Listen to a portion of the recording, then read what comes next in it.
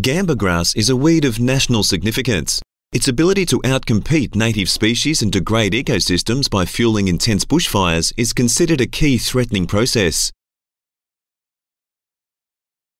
Cattle enterprises aside, the most common control for gamba grass is foliar spraying with herbicide, but this method often returns mixed results. This video shows how you can improve your results.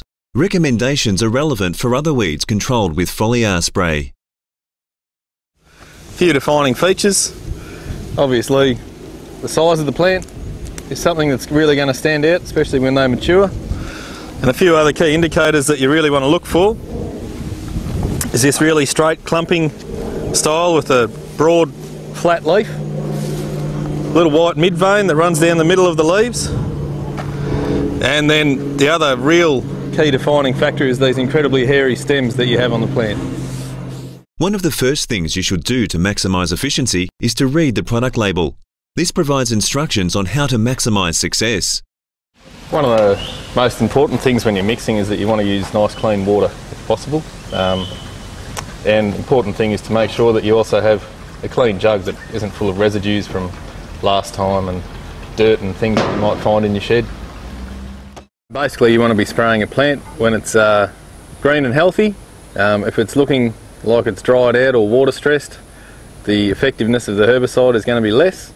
Well, the best time to be spraying gamba grass is uh, early wet season. Spraying should also be avoided in extreme temperature and high winds.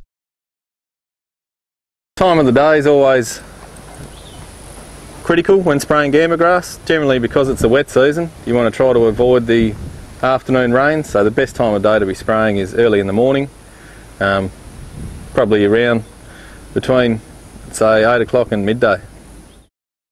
Spraying should occur before crowns become so dense that herbicide can't penetrate and cover all leaves. The idea is to get it before the plant gets too big. The bigger the plant, the more herbicide you have to spray, the more overspray you generally have, and the harder to kill the plant can be. Because the whole idea of spraying gamba is that you need to wet the whole plant.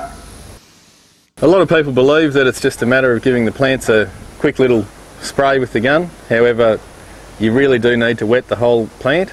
Uh, with these gamba plants, it's very important that you wet all the leaves and the big dense tussock, you really want to penetrate in there with the spray as much as you can. So, but it's a matter of really wetting the whole plant with the herbicide.